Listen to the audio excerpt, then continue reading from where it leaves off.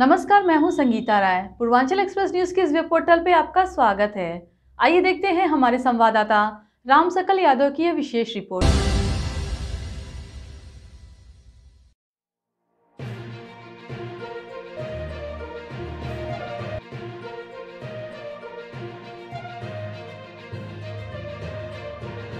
आजमगढ़ ज़िले के जियनपुर कोतवाली क्षेत्र के केशवपुर जंगल के समीप गुरुवार की रात पुलिस और बदमाशों के बीच हुई मुठभेड़ में शातिर बदमाश रफीक घायल हो गया।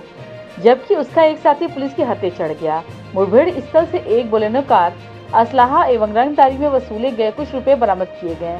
बीते पाँच जून को देवगांव कोतवाली क्षेत्र के लहुआ खुर्द गाँव निवासी सागर सैनी अपनी भाभी के साथ बाइक से जियनपुर कोतवाली के देवापार ग्राम स्थित अपने ननिहाल जा रहा था।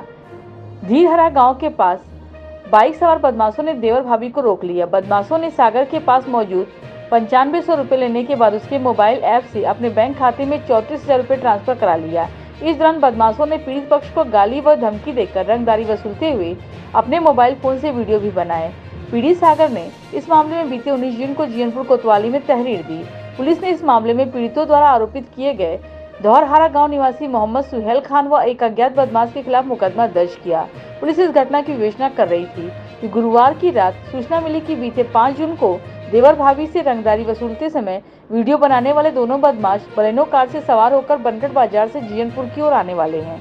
सूचना पर सक्रिय हुई पुलिस ने रास्ते में केशवपुर जंगल के पास घेराबंदी कर ली। रात करीब सवा नौ बजे बनकट की ओर से आ रहे कार सवार पुलिस देखकर केशवपुर जंगल में खड़ंजा मार्ग से वाहन मोड़कर भगाने का प्रयास किए, लेकिन आगे रास्ता खराब देख वाहन सवार दो बदमाश पीछे लगी पुलिस टीम पर फायरिंग करते हुए पैदल भागने लगे। पुलिस द्वारा आत्मरक्षा की गई जवाबी कार्रवाई में एक बदमाश के पैर में गोली लगी और वह लुढ़क गया। पुलिस ने उसे काबू में करते हुए उसके साथ ही बदमाश को भी अपनी गिरफ्त में ले लिया। घायल बदमाश की पहचान गैंगस्टर रफीक निवासी धौरहारा थाना, जियनपुर तथा दूसरे की पहचान कौसर अहमद निवासी ग्राम जयराजपुर थाना विलेरियागंज के रूप में हुई है। उनके कब्जे से एक तमंचा, एक ज़िंदा व एक खोखा कारतूस। 315 बोर्ड नगर रंगदारी से वसूली गई रकम के साथ चार हज़ार रूपए बलेनो कार व मोबाइल फ़ोन बरामद किए गए। पकड़े गए बदमाशों ने देवर भाभी के साथ हुई घटना का जुर्म कबूला और शेष रकम उन्होंने बकरीद त्योहार पर खर्च कर दी है। घायल रफीक को जिला अस्पताल में भर्ती कराया गया है। उसके खिलाफ ज़िले में विभिन्न थाना में दर्जन भर संगीन मामले दर्ज हैं।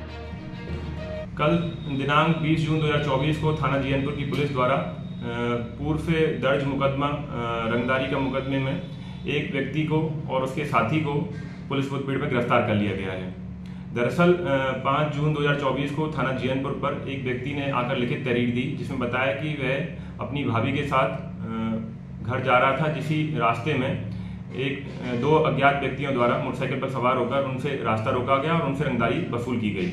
जिस लिखित तहरीर पर थाना जीएनपुर पर मुकदमा पंजीकृत किया गया, विवेचना के क्रम में कल दिनांक 20 जून 2024 को यह सूचना प्राप्त हुई कि इस मुकदमे से मुकदमे में अभियुक्त भागने की फिराक में है, जिस पर नियमानुसार पुलिस द्वारा तत्काल घेराबंदी की गई मौके पर पहुंचकर और घेराबंदी को देखकर अभियुक्तों ने पुलिस पर फायरिंग की, जिसके आत्मरक्षार्थ पुलिस ने उन पर फायरिंग की, जिसमें एक अभियुक्त, जिसका नाम रफीक पुत्र यूनिश है, जिसके जिसके ऊपर पूर्व से दो दर्जन मुकदमे दर्ज हैं, के पैर में गोली लग गई है, तथा उसके साथी कोसेर अहमद को गिरफ़्तार कर लिया गया है। इन पर तत्काल इसको उपचार, प्राथमिक उपचार किया गया और जिला अस्पताल में भर्ती कराया गया, जिसके पश्चात उनके विरुद्ध मुकदमा दर्ज कर उनको माननीय न्यायालय से रिमांड प्राप्त कर जेल भेजा जा रहा है।